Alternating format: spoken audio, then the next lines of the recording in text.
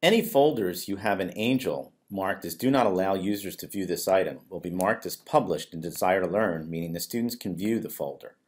Anything within the folder marked do not allow users to view this item in, in Angel will be marked as draft in Desire to Learn, meaning that students can, do not have access to those items. You'll need to mark any hidden folders as draft to keep them hidden from the student.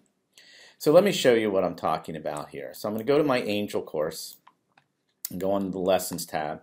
And so before this course was migrated, you'll notice that this folder, Test Banks uh, for Volumes, if I go to the settings on that folder and go to the Access tab,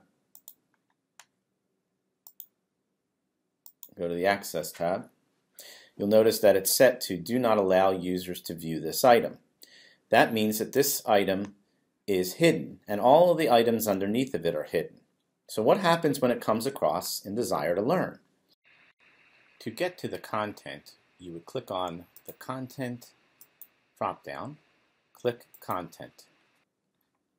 And I'm going to go ahead and scroll down. I'm on the table of contents. I'm going to try to find, there it is, Test Bank Volume 1.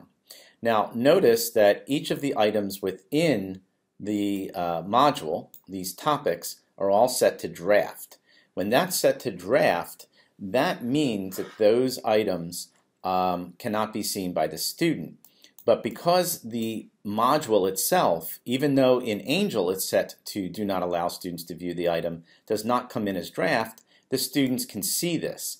So I can show you, for example, if I click up here and go to view as a student, this takes me into the student view and you can see that the student sees that module. If the student clicks on that module, it says there's nothing in there. So all of the topics within it are considered hidden because they are set to draft. So what we need to do is make sure that any folders, or any, sorry, any modules that you don't want the students to see um, are set to draft. So I'm going to go back to the content browser.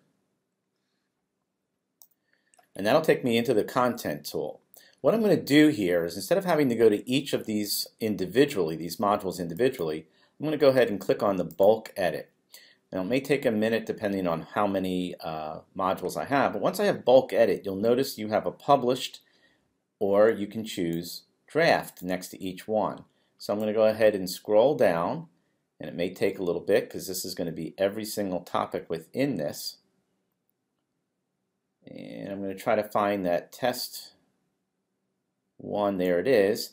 And you'll notice that the individual topics are set to draft, but the particular module is set to publish. So all I need to do is change this to draft and go back up to the top and click on Done Editing.